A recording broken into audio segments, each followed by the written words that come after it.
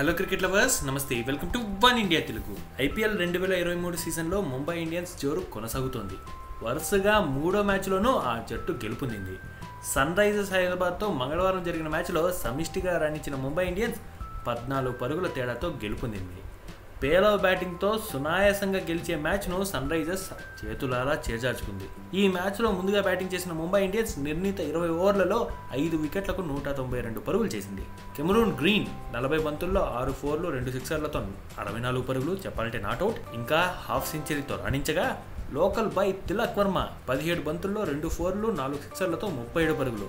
అలాగే ఓపెనర్లుగా వచ్చిన రోహిత్ శర్మ ఇంకా ఈశాన్ కిషన్. రోహిత్ శర్మ పద్దెనిమిది బంతుల్లో ఆరు ఫోర్లతో ఇరవై ఎనిమిది పరుగులు ఇంకా ఈశాన్ కిషన్ ముప్పై ఒక్క బంతుల్లో మూడు ఫోర్లు ఇంకా రెండు సిక్సర్లతో ముప్పై ఎనిమిది పరుగులు. ఇలా మెరుపులు మెరిపించారు. సన్ రైజర్స్ హైదరాబాద్ బౌలర్లలో మార్కో జాన్సన్ రెండు వికెట్లు తీయగా నటరాజన్ భువనేశ్వర్ కుమార్ తలా ఒక వికెట్ పడగొట్టారు. ఆ అనంతరం లక్ష్యఛేదనకు దిగిన సన్ రైజర్స్ హైదరాబాద్ నిర్ణీత పంతొమ్మిది పాయింట్ ఐదు ఓవర్లలో నూట డెబ్బై ఎనిమిది పరుగులకు కుప్ప కూలిపోయింది.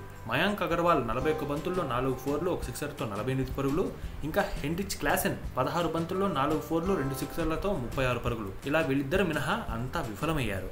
ముంబై బౌలర్లలో జాసన్ బెహ్రెండాఫ్ ఇంకా రిలీ మెరడిత్ పీయూష్ చావ్లా రెండేసి వికెట్లు తీయగా అర్జున్ టెండూల్కర్ ఇంకా కెమరూన్ గ్రీన్ అలా ఒక వికెట్ తీశారు. చెప్పాలంటే గ్రేట్ సచిన్ టెండూల్కర్ గారి కొడుకు అర్జున్ టెండూల్కర్ అద్భుతంగా బౌలింగ్ చేశాడు. పంతొమ్మిదవ ఓవర్లో అతని బౌలింగ్ వల్లే నిజంగా Mumbai Indians గెలిచేసింది.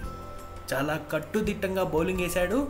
At the same time Bhuvneshwar Kumar wicket కూడా తీసేసుకున్నాడు.